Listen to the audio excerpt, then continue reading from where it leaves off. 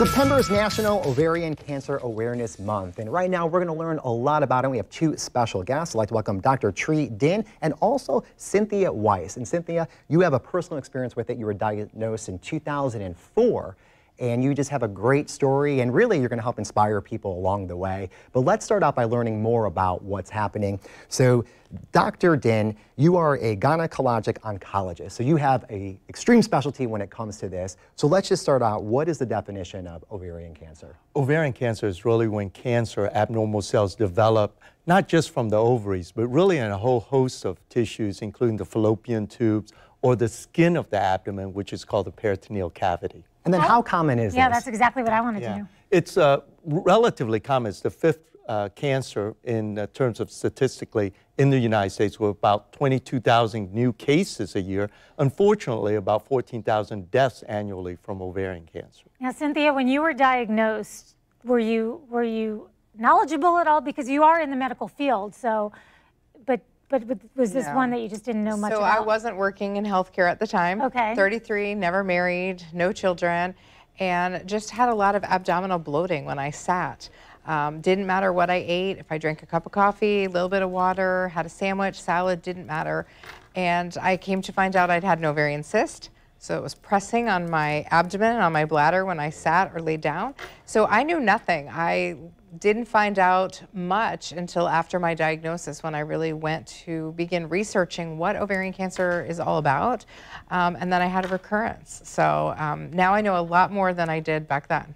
And what are some of the risk factors? Yeah, so uh, there's really no risk factor, but one of the new things in the last couple of years that we know is about 10% of ovarian cancers are actually genetically predetermined. Very similar uh, in a very famous case of Angelina Jolie. So for patients or for people who have a family history, we really uh, recommend uh, early diagnosis by getting them genetically tested. And let's talk about, so what's the name of that test? Okay, and the test, uh, there's, uh, it's BRCA, the gene mutation itself is the BRCA1 and 2 mutations, but those are not the only mutations that cause ovarian cancer. And so now we can test for many uh, of these uh, genetic mutations. Cynthia, you made a point to say not married, no children, because one of the things I'm sure that goes directly into your mind.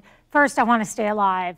Second, you, you obviously after surgery, chemo, everything that goes along with the treatment, are unable. But that's not the case at all for you because you have a beautiful family. So I, I got married and I have a little girl who's now eight.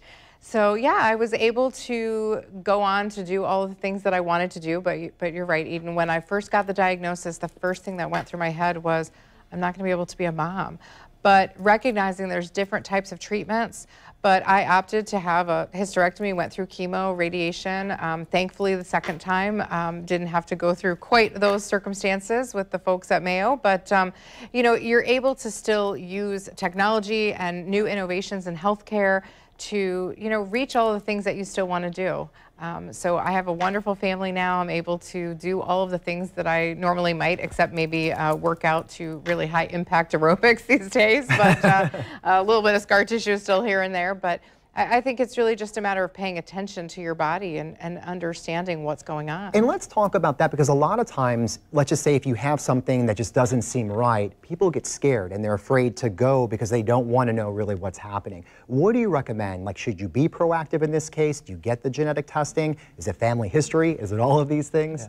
Well, you know, I, I think we should think about genetic testing for patients who have a family history, not definitely for everyone. But in regards to what uh, Cynthia said about symptoms, it is these vague abdominal symptoms that a lot of people have. So I think being uh, uh, uh, recognizing the symptoms of your body, getting a good checkup, and a good checkup in terms of ovarian cancer can be simply a, a pelvic exam, what gynecologists or family practitioners do all the time. But missing that step, uh, we will miss a large number of cases. Well, I just want to thank you both for your time and especially for you sharing your personal story with everybody because it's important to get the word out and to help people out. Now, if you want to learn more, you can call the Mayo Clinic, and here's the number it's 904 953 2272, or you could visit them online, mayoclinic.org. Thanks again. Right now, we're going to send it over to Rance.